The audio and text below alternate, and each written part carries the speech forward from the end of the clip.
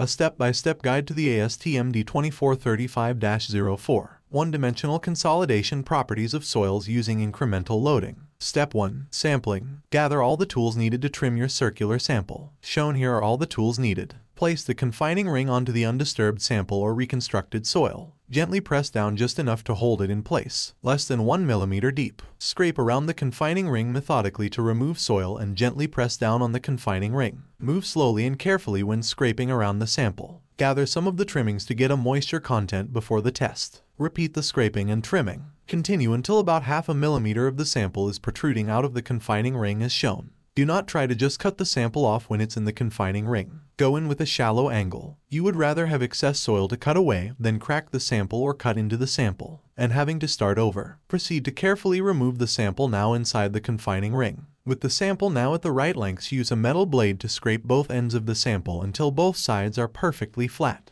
Take care when scraping the ends so you don't accidentally create a seal with the clay. Keep both ends rough as shown. Weigh your sample and confining ring before the test. Step 2. Odometer Cell Assembly. Gather all the parts of the odometer cell assembly. Here are the parts, and the names of the different parts. Place the lower porous disc into the odometer cell assembly if not already present. Place the number 54 filter paper on the lower porous disc. Please do not forget this filter paper. Place the sample and confining ring into the ring assembly as shown. There is a small lip that the sample and confining ring rest on. The tapered edge should be facing upwards at this point as shown. Place the whole ring assembly with the sample and confining ring into the odometer cell with the tapered edge facing down. Line up the three screw holes as shown. Take care not to cover the drain hole. Screw the ring assembly down tight to the cell. Place the top filter paper on the sample. Place the top porous disc on the filter paper. Place the top cap on the porous disc. Step 3. Saturation phase. At this stage the cell is ready to be transported to the odometer also called an consolidometer. Fill the cell with distilled water. In the absence of specification potable water may be used. You can fill your cell with water before placing it on the odometer if you are saturating many samples. Otherwise you would usually fill the cell once it is placed on the odometer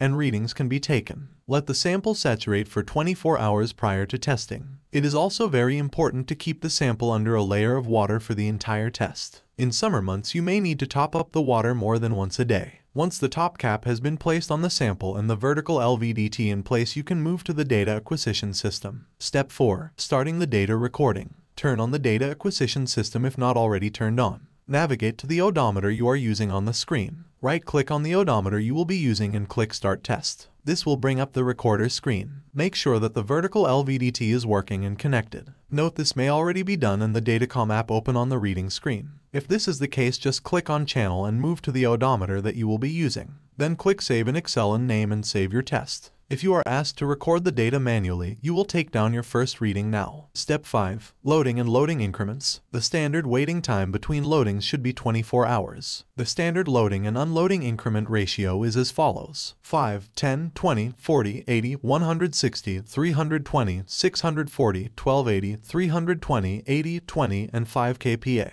you will find a chart that will tell you how much weight in kilogram each increment is. Take note that the weight shown for each increment is the total weight on the sample and not the amount you should add next. You may be asked to only take manual readings in which case the following is very important. Take your readings. Before, you add the next weight. Continue with the full loading and unloading sequence. Step 6. Sample removal and equipment cleanup. Carefully remove the odometer cell. Drain out the water. Unscrew the ring assembly. Carefully remove the sample and confining ring. Weigh your sample and confining ring again after the test. If the sample should break or fall apart, gather all the material into a miter box and weigh it, including the confining ring. After you have weighted your sample, place it in the oven to dry out. Move to clean the cell assembly. Do not use any metal tools to scrape off the clay or silt. Clean the odometer cell as shown. Make sure to clean the screw holes thoroughly. Let the disassembled parts dry out naturally. The porous plates should be boiled into aired water. After the porous plates have been boiled, Place the porous plates in the oven for 5 to 10 minutes to fully dry out.